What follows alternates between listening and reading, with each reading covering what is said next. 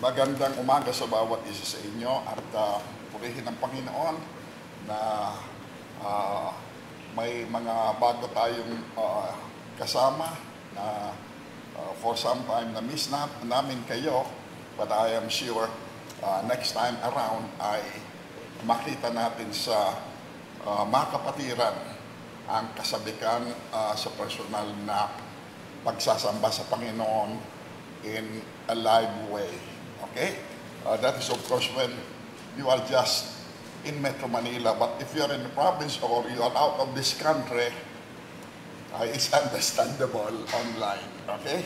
But just the same, it's good to have you this morning. And uh, thank God for the message that the choir sung. And uh, may the Lord uh, be pleased that what we do uh, will be most acceptable before Him and His Blessed Trinity. Uh, I announced last uh, Wednesday that I will continue what I have uh, left off uh, na hindi ko natapos sa isa sa mga mahirap na uh, uh, talinhaga o parable na ibinigay ng Panginoon. We are going into the uh, hard and difficult sayings of our Lord Jesus Christ. And uh, of course, as we study this and uh, uh, dig uh, uh, the scriptures, I, we will the more uh, appreciate it when we best understand it. Okay, so have a pleasant day throughout this Lord's Day. And meanwhile, let's thank the Lord that in spite of what may be uh, happening around the world and uh, caused by this pandemic, na tayo ay narito pa rin at pinintulutan na makapagtipon after uh, uh, more than almost a year. But it's uh, such a privilege, it's a test of faith na ngayon ay tayo ay uh, nasa uh, uh, pagsubok uh, ng ating uh, pananampalataya. How close we are uh, to the Lord. So, uh, without any further ado, I would like us to open our Bibles to the uh, Gospel of Luke chapter 5. I will finish what I have, uh, uh, uh, where I left off last Wednesday. Tila'y mas maganda itong talakayin yung mga mahirap na salita ng Panginoon. So I may reverse this. Maaring ipagpatuloy ko yung prophetical study uh, on Wednesday. At ito ay, uh, ito talaga mga difficult sayings ng ating Panginoon ay provocative. Talagang mapoprovoka na uh, uh, mag-aral at uh, saliksikin o bungkalin ang salita ng Diyos at makita ang katotohanan nito sa uh, buhay nating mga uh, anak ng Diyos. May love letter, uh, sandali lang ah. Okay.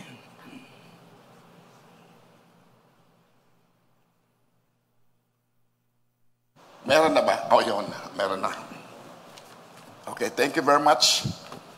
We appreciate uh, those uh, operating uh, the in the uh, radio room para mai-record at maipaabot uh, simultaneously ang ating online service and on-site service sa iba magdako ng uh, sanglibutan. And uh, may mga gusto English, uh, mga tiga-abroad, but uh, marami rin na tiga rito, I suppose, ay gusto tagilis kaya hindi ka malaman kung saan ako pupunta. Taglis na lang. Okay. So, pero uh, sa akin preferable ang English eh. Kasi uh, I'm no Tagalog, uh, pero uh, nagsisikap ako. Okay, so Luke chapter 6 verse 36 to verse 39, kung babalikan natin uh, sa verse 34, ay ito ay sumusunod sa isang napagdaanan at napag-aralan na nating uh, katuruan ng Panginoon na may koneksyon uh, sa kasalan, sa kasal ng anak ng hari. At uh, ngayon, sapagkat sa kasalan ay bahagi nito ay uh, sa celebration at pinapahalagahan, this is a common uh, uh, uh, uh, beverage uh, sa mga mamamayang mga Hudyo, especially during winter time, na uh, uh, they use uh, real wine. Okay, sa kanilang table at saka sa Lord's Supper at sa iba-iba pang okasyon tulad ng kasalan. One day I will give a message on the custom of the Jews when it comes to marriage at pagkatapos ang kaangkop na katuruan nito sa bagong tipan ng ibinigay ng Panginoon and we will uh, the more appreciate the Lord and what uh, He has greatly done for you and for me. Dito at uh, talagang sabi ko too wonderful. Uh, I am awestruck at uh, uh, the messages that the Lord uh, conveys to us both in the Old as well as in the New Testament. So ang ating mensahe ngayon ay yung mga uh, uh, nag-aakala na noon at saka ngayon, the old is better.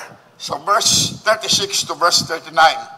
And he spake also a parable unto them, No man putteth a piece of a new garment upon an old, if otherwise then both the new maketh a rent, and the piece that was taken out of the new agreeth not with the old. And no man putteth new wine into old bottles, else the new wine will burst the bottles and be spilled, and the bottles shall perish. But new wine must be put into new bottles, and both are preserved.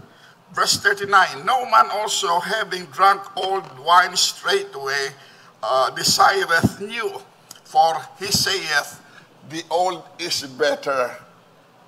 Lord, bless your word.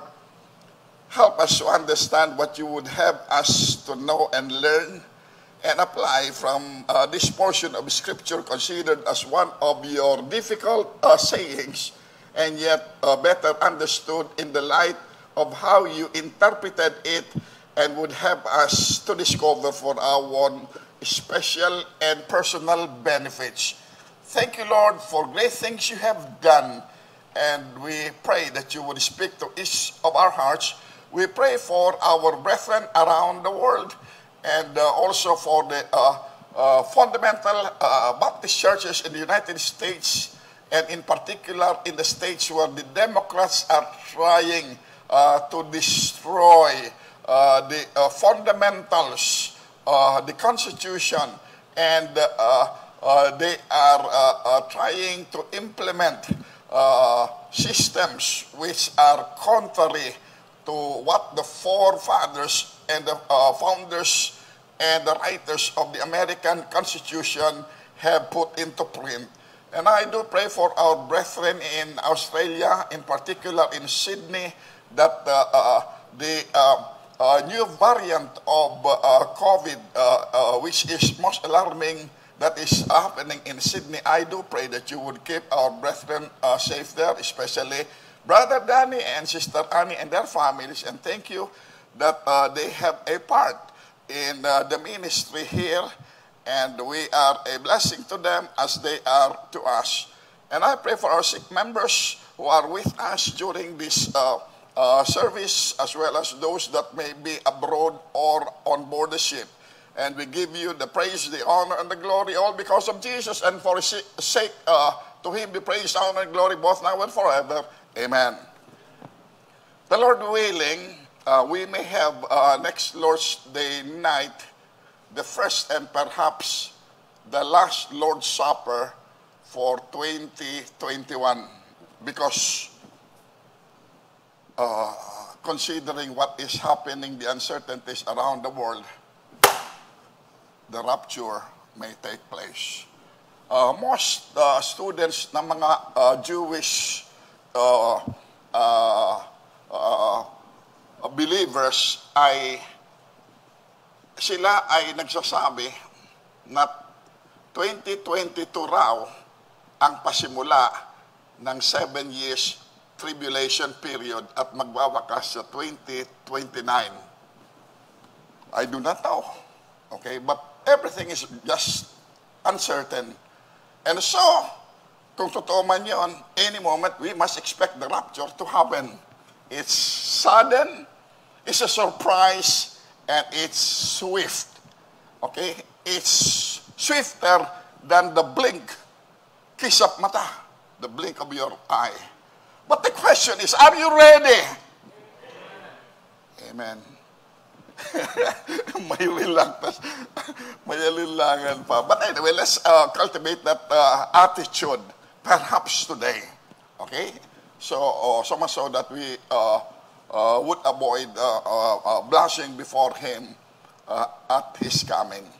Okay, this morning's message is a continuation and uh, uh, the I hope uh, uh, uh, the finish of our study on the subject the old is better. How many of you were with us na narito that you were uh, with us during uh, our midweek prayer meeting na narinig itong introductory uh, presentation na ginawa ako ng Wednesday, Wednesday ng Miyerkules. Taas ang kamay.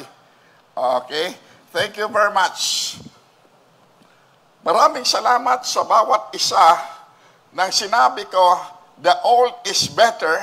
I asked several questions. Sino nagsalita nito? Who quoted it? Kanino ito uh, uh, sinalita ng Panginoon? At totoo ba ito o hindi? Mara, may mga nag-participate at pagdating doon sa old which is better, which is uh, uh, uh, precious, and uh, is getting uh, more uh, expensive, ay may, may mga nag-participate na iba-ibang mga items na totoo na mas luma ay mas mahalaga.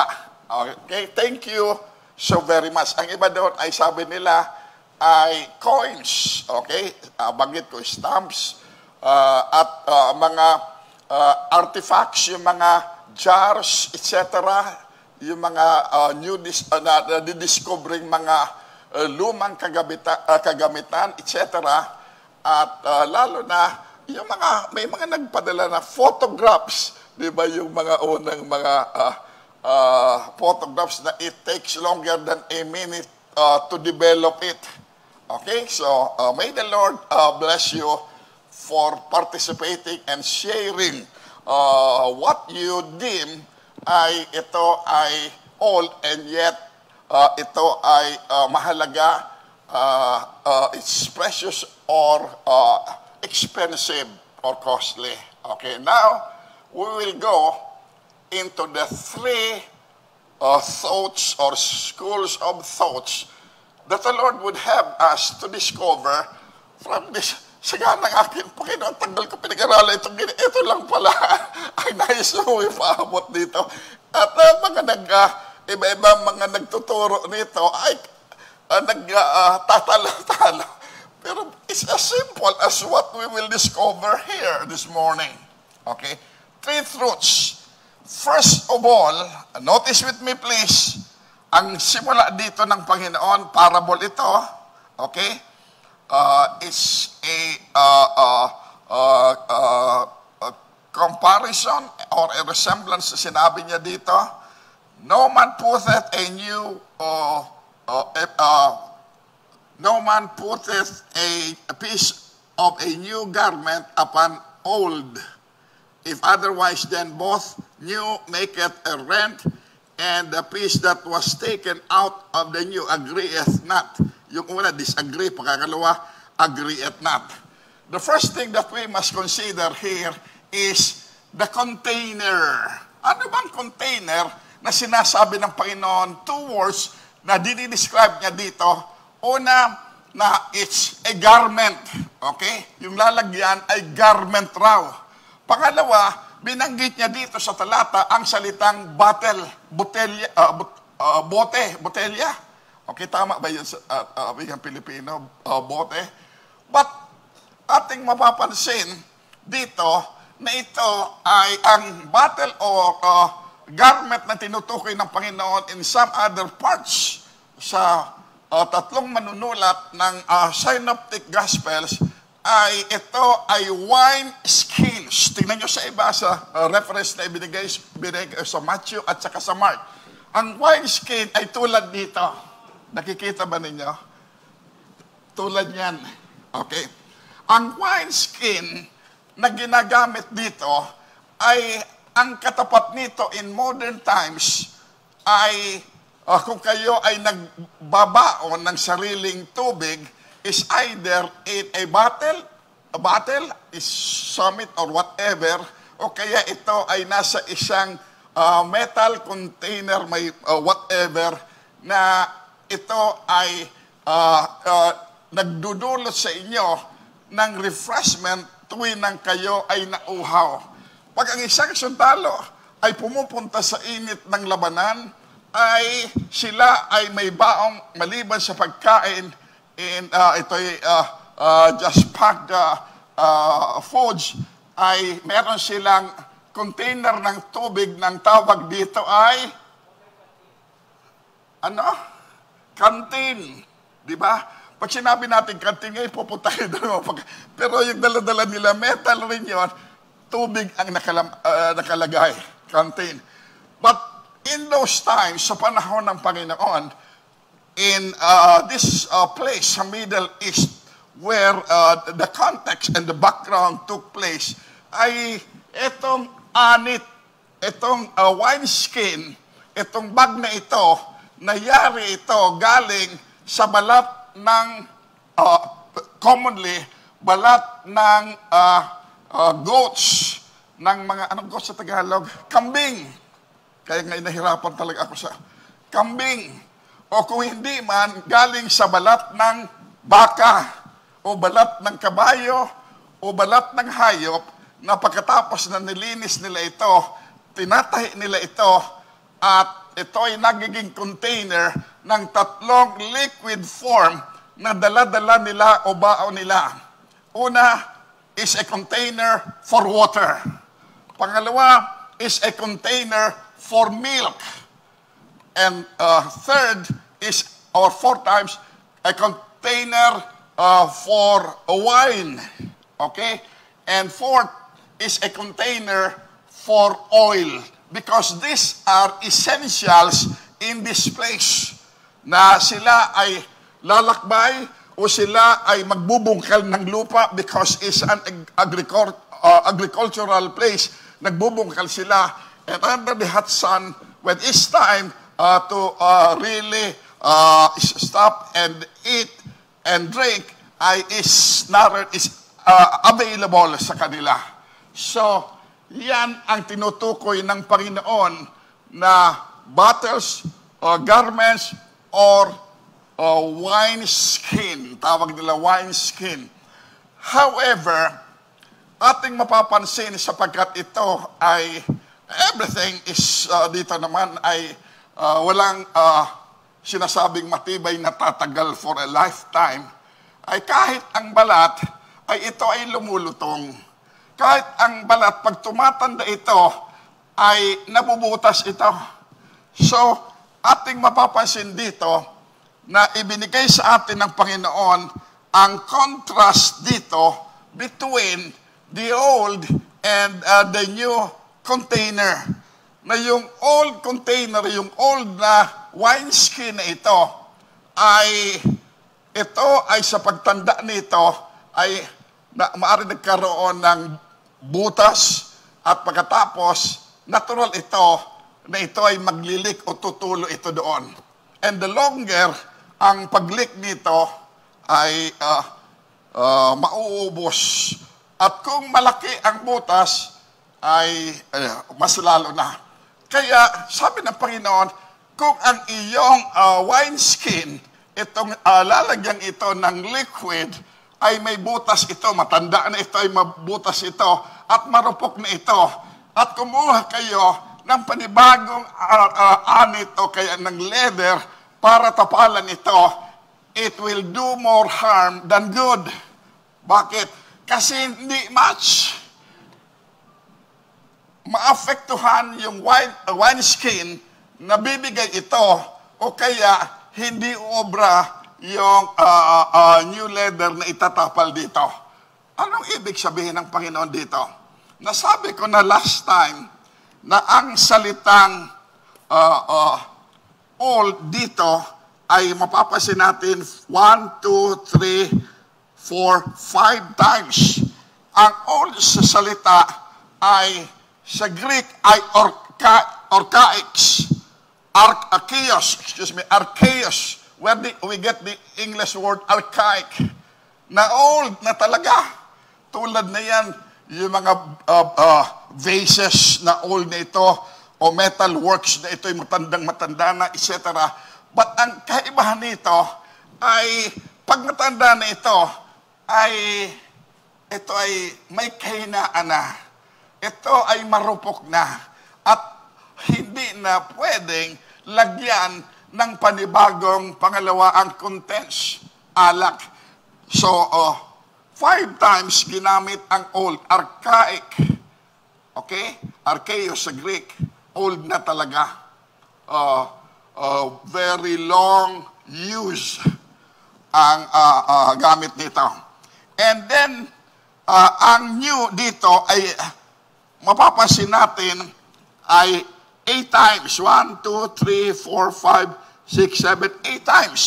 Ang salitang uh, new dito ay kainos. Ang ibig sabihin ng kainos, K-A-I-N-O-S, ay never been used hindi pa kailanman nagagamit. At ibig sabihin nito, bagong uh, uh, uh, likas o kalikasan ito. So may nagkakaroon na tayo ng idea. So, sabi ng Panginoon, imposible sa isang matandang container, lalo na kung ang ilalagay mo dito ay ang grape juice sapagkat wine ang issue dito. Yung contents, the second truth that ating makikita dito, pag nilagyan mo ito ng contents na kung saan ay ang uh, ang uh, in, inaning mga ubas ay pagkatapos na pinapadaan sa isang wine press o mill uh, na ito'y dalawang bato na nag-umpugan ay ito'y pinipisa at uh, lumalabas ang katas ng ubas at pagkatapos na ito'y nasahod, uh, ay ilalagay nila ito dito uh, sa uh, uh, garment o sa wine press na ito. Uh, at yung uh, grape juice is unfermented. Grape juice yun eh. However, kung luma yon at ito ay may defekto na, imposible na nga.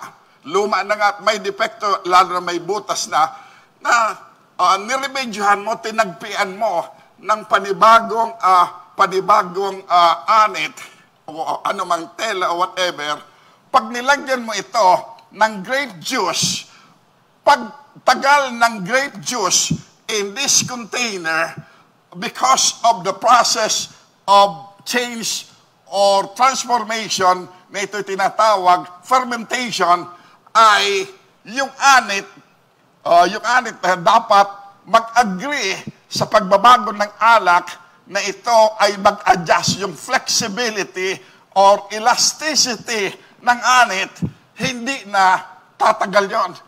Lalong lalaki yung butas. Pag-change ng uh, nasa loob, it will affect, okay, the old garment or the old wine skin.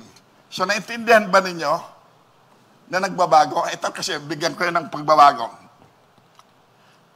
uh, pag uh, umiinom tayo ng Welsh grape juice, ang Welsh grape juice ay ginawa ito ng Methodist, uh, na, na, I forgot the name, na si Welsh. At sapagkat na-offend Tito Tyler o kaya uh, umiiwas sa alak, yung kanilang uh, denomination at other denominations na sama ng Baptist ay uh, na ang alakan niya ay masama, uh, nakalalasing, ay he uh, produce itong Welsh grape juice na ito ay uh, itinatabi na uh, kahit tumagal, habang hindi nabubuksan, ay fresh yan. Naging uh, un- unfermented. Fresh yon. However, the moment na binuksan ninyo ito, uh, either kumuha kayo ng bahagi na inumin o basta nabuksan ninyo ito, ay immediately the process of fermentation will take place at yung dregs na dala ng, uh, uh, ng grape juice, uh, it sinks below uh, the bottle at pagkatapos ay the longer it becomes ay nagiging real wine yung uh, Welsh grape juice. Proven ito many times na na ako nung umiinom nito, yung natitira ay yung dregs ay na, nasa bottom, alak na alak na talaga. Sino sa inyo nakainom na ng ganon? Matanda ng uh, grape juice, Welsh grape juice, pure yon. Because of the process of change ng fermentation, ay nagiging real wine yon. So ating mapapansin, uh, uh, the, uh, uh, the old uh, garment or uh, wine skin na matanda na talaga, it cannot agree with the new wine sapagkat in the process of time ay pag ito ay nag-change sa sabog itong container na ito. Hindi na kasi maka-expand ito. So, yan ang uh, uh, old uh, uh, garment or old wine skin. Sabi na pa you cannot put new wine in old uh, wine skin. Okay, ang container ay wine. Uh, the reason why I believe that uh, it's not the use of wine na, uh, na kinokondem sa Bible. It's not the use of wine. It's the abuse of wine. Yung maling gamit sa alak, sa kanila, very common yan, pero hindi naman, it does not necessarily mean that they are drunkards. It's part of uh, their drinks sa kanilang domestic homes at ganun rin sa Lord's Supper. At dahil in-abuse ito, may mga nalasing at kinondem ni Apostle Paul yung paglalasing, hindi yung alak. So, tulad rin ni Noah, in-abuse niya ito, tinanim niya, in-abuse niya, at nalasing siya, it caused one of his sons to fall into sin. Di ba? At nasumpa niya ito. So, ating mapapansin that yung sinabi ng Panginoon na ginamit niya ang wine is at doon sa feast, uh, wedding feast sa Cana, the first miracle, he changed or turned the water, the jars of water, into wine. And everybody appreciated it because this new wine that the Lord Jesus Christ uh, provided when the feast is supposed to end suddenly, ay the more joyful the occasion was because Jesus was in their midst and he could uh, uh, uh, uh, turn the water into wine. So, naalala ko tuloy ang tungkol sa alak. Iba yung uh, uh, manginginom at saka manlalasing. You can drink without being a drunkard. But it's preferable kung hindi nyo maiwasan ang uminom ng real wine once a year lang o kung kailan lang may Lord Supper, anyway, di naman kayo malalasing ng isang maliit na camp. di ba? Yun ang symbolism. And I'll give you that uh, uh, message in a few while. So, dito ay kapansin-pansin ito na hindi kinundina ng Panginoon ang wine. Sa kanyang na-accuse siya, oh, here, here is uh, the friend of sinners siya ay isang wine bibber. Siya ay kasama ng mga umiinom ng alak. That was something na binabran sa Panginoon. Because the Lord did not condemn the use of it, but the abuse of it. So, naalala ko isang araw ay mayroong uh, isang uh, Christian family uh, sa Amerika nangyari ito. Doon sa Christian family ito, yung kanilang anak above 20 years old na na uh, hindi pa uh, humihiwalay sa kanila at hindi nila alam kung ano ang kursong kukunin nito.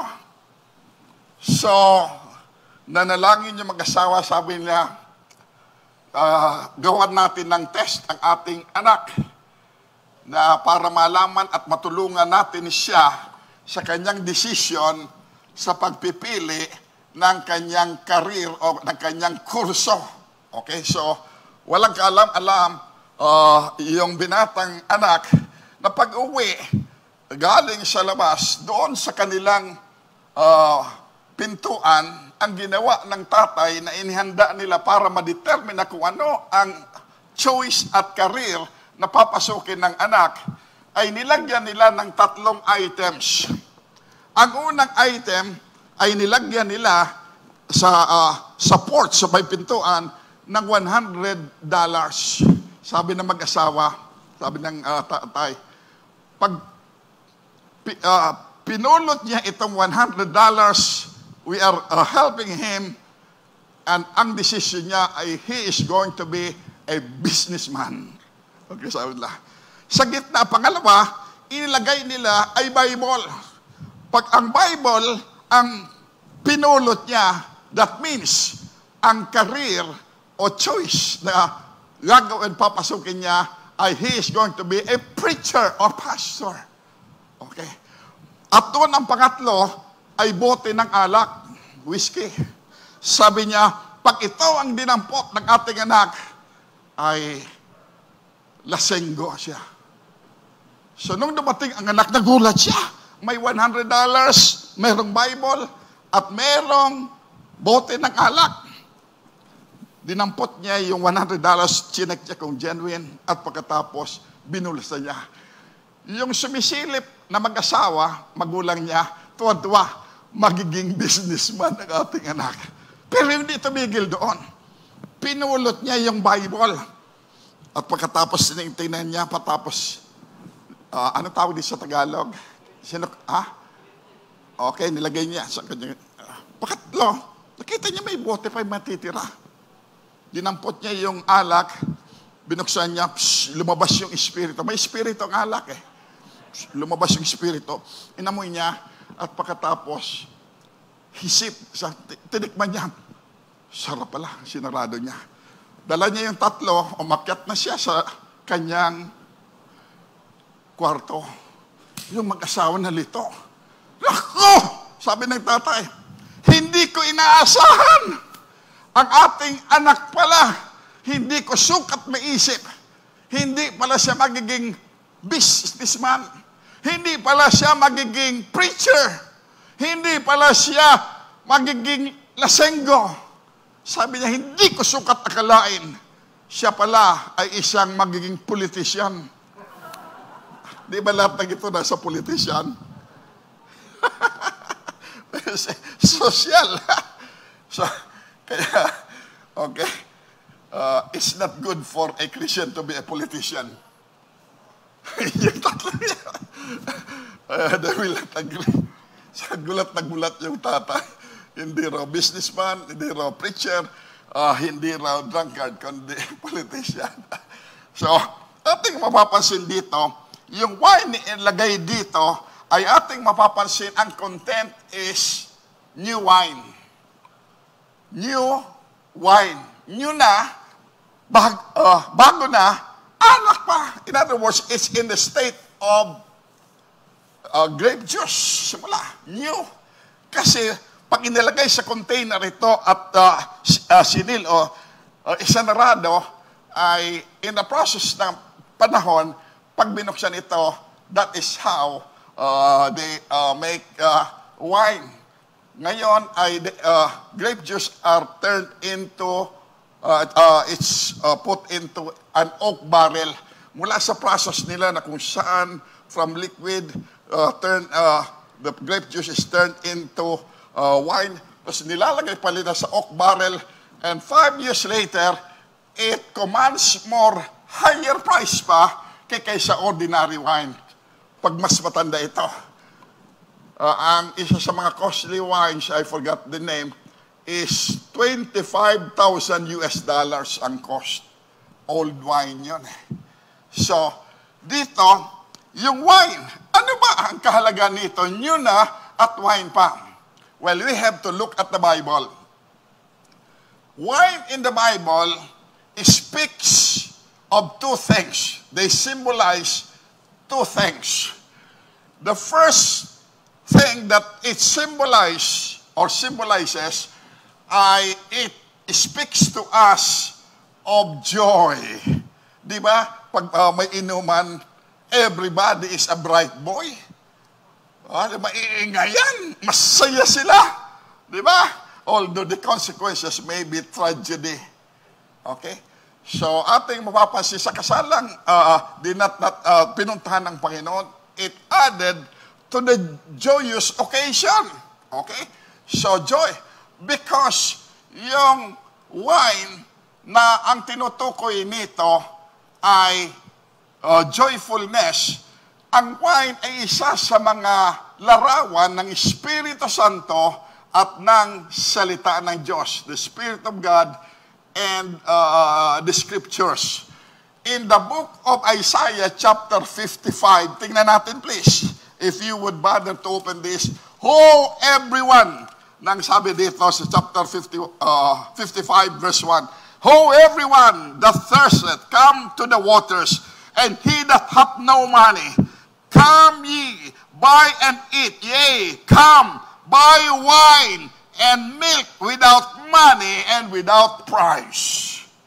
You see, here we find the invitation of grace to his people and to us that this new wine that the Lord provides is actually far more precious and better than the old. Okay? So, yan ang ating mapapansin. Pag Di ba pag oras na ng inuman, happy-happy hour ang tawag, happy-happy hour. But it's false happiness. Short-lived happiness and it will end. The second truth na ang wine uh, conveys to us, the symbol is, one of two things lang, is judgment. It speaks to us of judgment. In the book of Revelation, sa bago uh, bago masimulan ang millennial kingdom ng Panginoon, when Jesus comes sa glorious appearance niya, ay He will implement itong tinatawag the wine press of God's judgment. Sa Revelation chapter 14 verse 19, Revelation chapter 19 verse 15, that the Lord Jesus Christ will put our world then sa uh, tribulation period, in particular sa dulo na ng tribulation period, ay He will usher His judgment na ito'y tinatawag na uh, the uh, judgment of the wine press of the wrath of God. Nakita ba niyo yung uh, statement dyan? The wine press of the wrath of God. Di ba mga nag-inuman, simula Usually, ang report ay mga construction workers ito. Simula, magkakaibigan, magkasama sila, masaya sila. Mamaya-maya, may nag, uh, nagsalita ng tungkol sa biro, nagkainitan hanggang saksakan at patayan. Di ba? It ends in judgment. That is how wine does in this world. Temporary happiness and tragedy. But not so with the Lord's new wine. Ano ba new wine na tinutukoy niyang ito? Ay natural yung content na ito, content na ito sa wineskin ay ang sabi ng banal na kasulatan is actually the Spirit and the Scriptures, the Word of God. Third, okay, sabi ng Panginoon dito, una, it does not agree. The old and the new does not agree. Second, sa verse 37, no man putteth new wine into old uh, garments because sasabog talaga yung lumang uh, uh, wine skin. And the third, but new wine must be put into, into new bottles and both are preserved. Yung new wine raw ay ilalagay sa new wine skin para match na match ito. The more aged the contents uh, become, whether any of the four na nabanggit ko, lalo na ang wine, ay ito ay it does not burst. Hindi nasisira ito. Okay, so ating mapapansin, the third thing is the conservation. Yung conservation na produce ng new wine sa new uh, uh, wine skin ay it is preserved. Napipreserve. Hindi ito sasabog. Eh. Sapagkat pag-change ng grape, uh, grape juice sa uh, fermentation, ay it does, it elasticizes the new uh, leather garment, and then pagkatapos ay napipreserve yung alak na nasa loob. Okay? So, for that matter, speaking of conservation or preservation, ano ang tinutukoy ng Panginoon dito? In the epistle ni Apostle Paul sa Ephesians, he speaks of the old man na Adamic nature, the first time na tayo ipinanganak sa mundong ibabaw, that old man that we inherited from Adam, na ito ay corruptible. Okay? Na ito ay makasalanan. So, ang ginawa ng Panginoon ay He, in our lives, ay He bless us with a new man. Tingnan natin please. Paano ito nangyari? It's through the process of regeneration. Sabi sa atin sa banal na kasulatan, Therefore, if any man be in Christ, he is an old creature. Tama ba yon? No. He's a new creature or creation. All things are passed away. Behold, all things are become new. Why are all things become new? Because he is a new creature. He is now a child of God. Nakita ba ninyo ang newness? Yung old man natin is disqualified from entering into heaven. That's why we need the new birth. We need the new birth. Ang sabi ni Apostle Paul yun ay, he made a contrast between the old man, the inward man, the, uh, the old man, the outward man, and the new man, the inward man.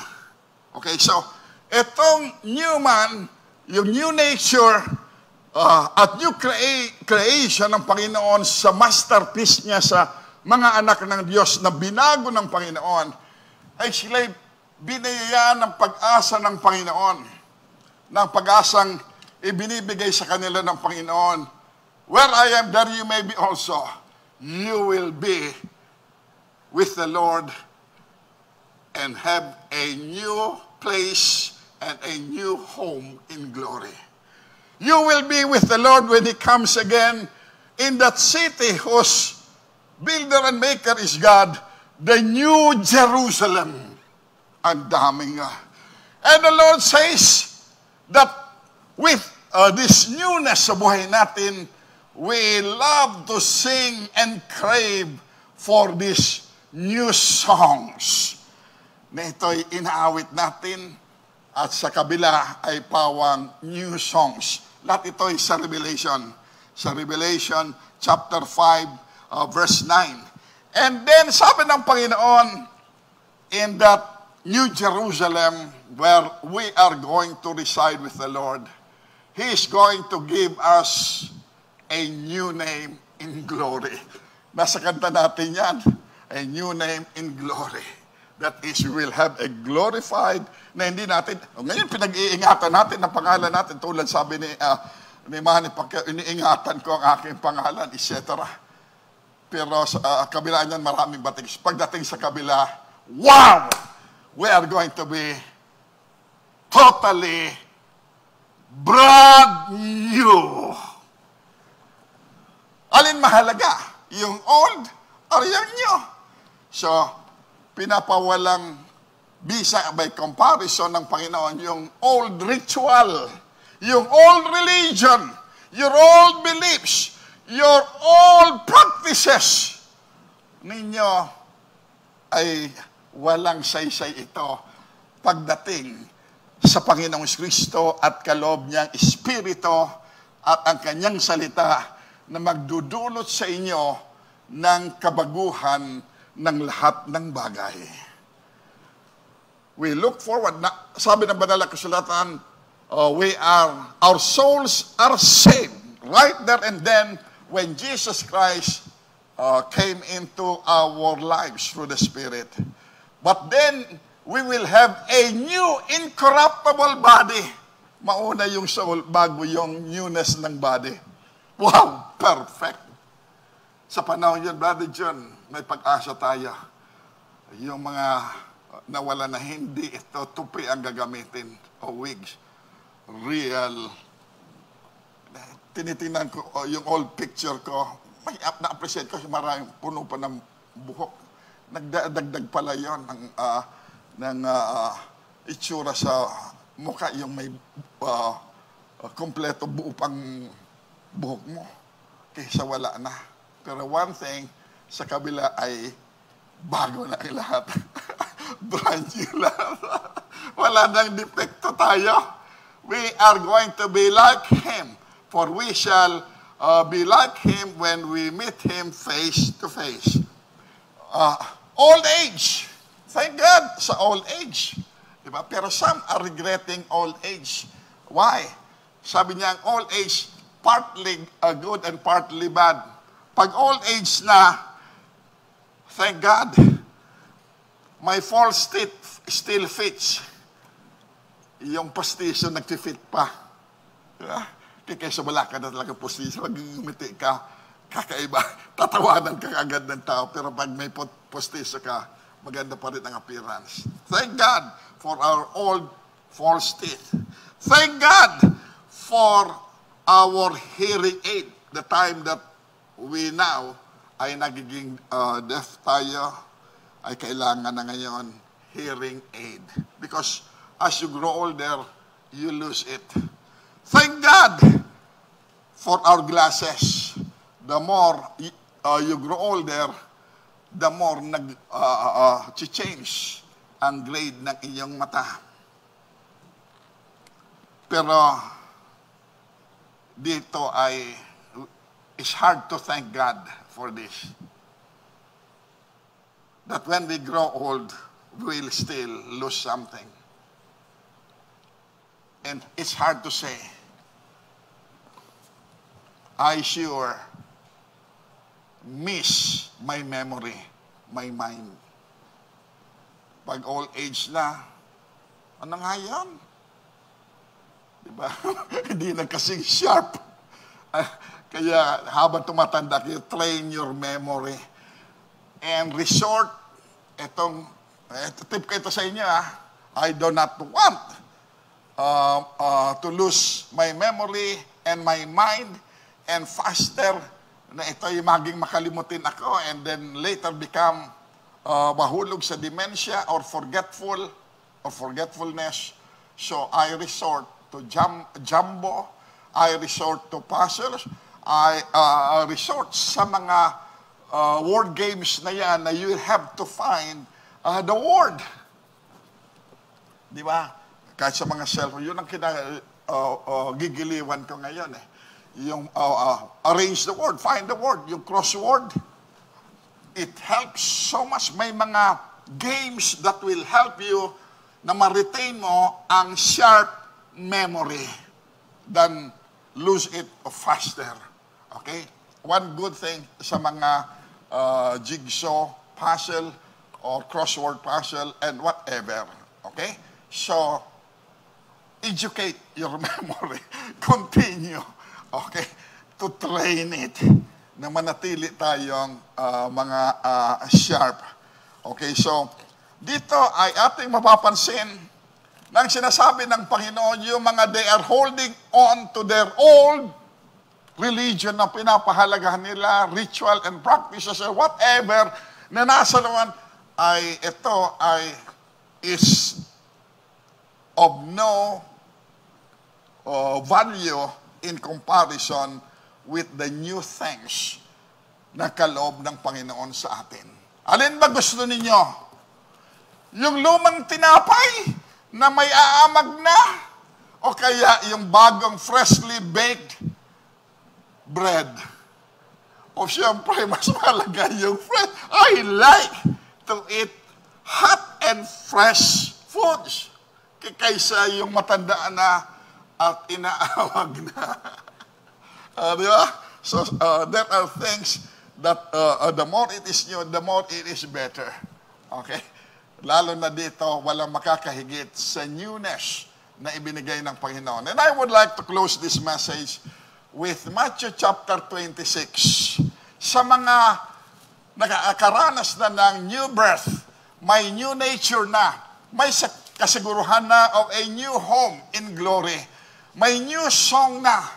At uh, meron na silang new name na written down in glory because they are God's elect.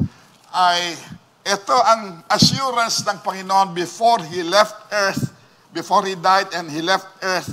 Sabi din ng Panginoon dito, kaya huwag natin palalampasin ang opportunity maka-fellowship ang Panginoon sa sandaling ito.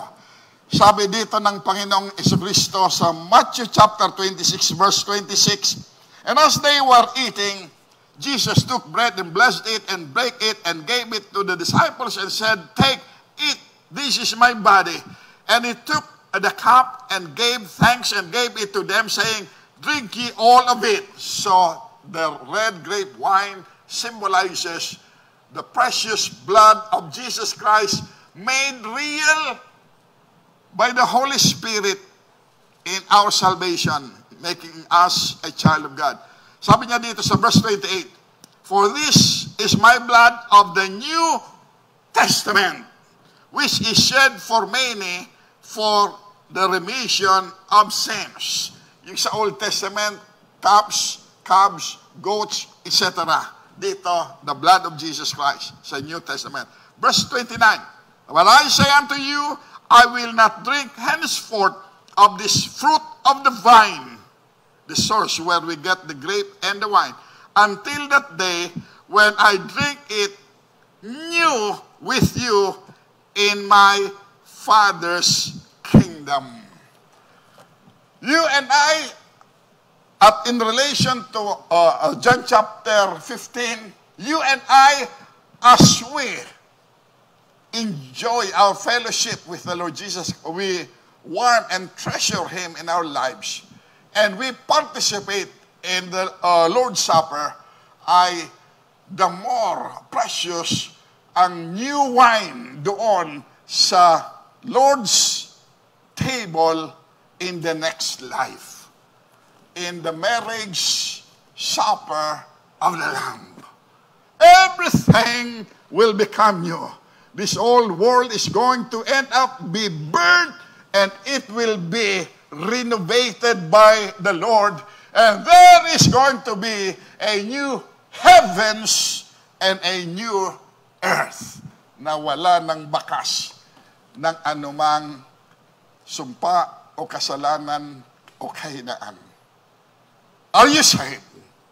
Truly saved is because of what Christ has done for us. Naunawa na ba ninyo ang mensaheng ito ng Panginoon? Put new wine in new garments.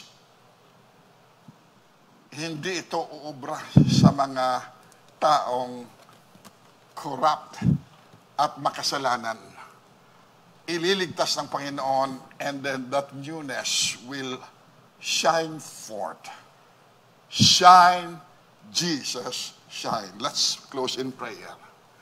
Our Father, we thank you for this hard saying that you made, which is made easier to us by your own teaching to us of what the elements symbolizes. The container, the content, as well as the conservation of it. Thank you for preserving everything that you have begun in our lives. Thank you for preserving the Word of God through the ages. Thank you for preserving your church when you promise, I will be with you always, even unto the end or the close of the dispensation. Thank you for preserving our families.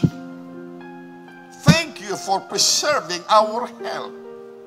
Thank you for being in charge of preserving our children.